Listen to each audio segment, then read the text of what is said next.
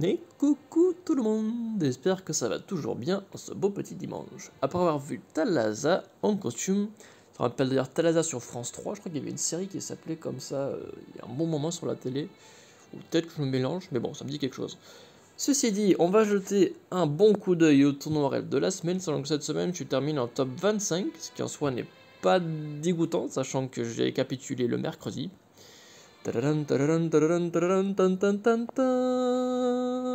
Bataille sanglante, pas de verre. Traduction, les bleus sont de sortie. Bataille sanglante et pas de verre. Bataille sanglante et pas de verre. Bataille sanglante et pas de verre. Euh...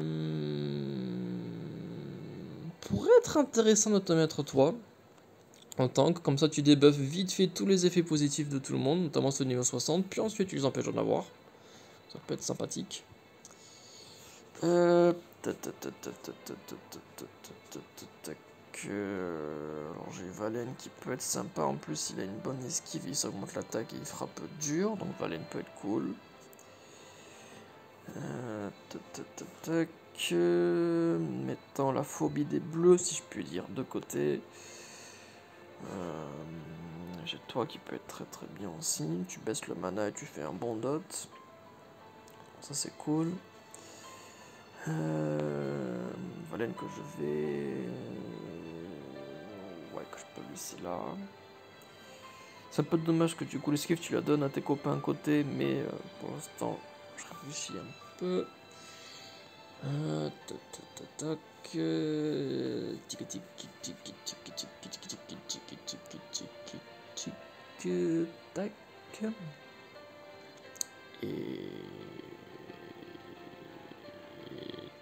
tac. Euh, ou alors, ou alors, ou alors, ou alors. Alors je peux faire tac. C'est un peu. C'est un peu. Je vais mettre Felton.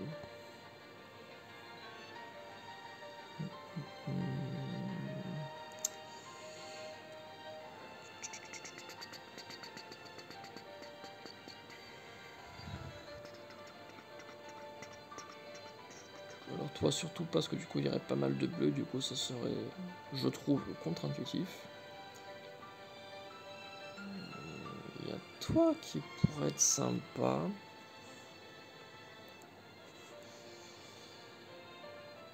Tu fais un bon dot si tu fais et tu baisses la défense. Le bonne famille en l'occurrence, j'aurais pas spécialement intérêt parce que du coup j'aurais aucun druide de démon qui serait invoqué, du coup ça on s'en fiche un peu. Non,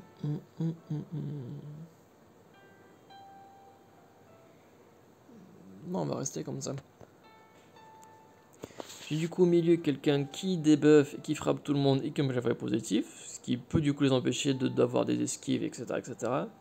J'ai Rabbit qui lui baisse le mana et fait un petit dot de poison et fait le dégât, donc c'est assez cool. J'ai Akela Akayo Sakeya qui fait des petits dégâts et donne des probabilités d'esquive, ce qui est cool. J'ai Valen qui est un petit bourrinage simple et efficace et qui s'augmente le tac. Et en plus il peut esquiver, donc ma foi, c'est sympathique. J'ai Felton qui est dans le même ordre d'idée, qui est un petit bourrin, simple, efficace, voilà. Et qui renvoie les effets, les bonus. Enfin, ah, d'ailleurs, 30 secondes.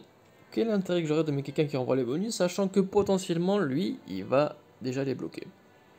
Remarque, si lui il meurt, Felton pourra prendre le relais. Donc en soi, pourquoi pas. Euh... C'est marrant, tu fais 335. Et lui aussi, sauf que vu que toi t'es 60, et en plus de ça, bah, du coup tu fais max de dégâts.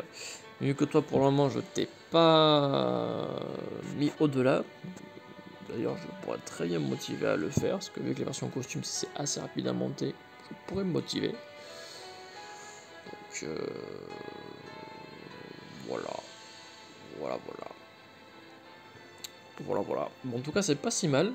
En plus, le, hasard, parce que moi, quand je, quand je joue, quand je fais mes équipes, je prête pas forcément attention aux classes. Du coup, c'est pas si mal parce que j'ai euh, des classes qui sont bien défensives. J'ai trois voyous, donc chance d'esquiver les CS. J'ai deux moines qui peuvent du coup rester des effets négatifs. Donc, non, c'est pas mal du tout. C'est plutôt pas mal. Euh,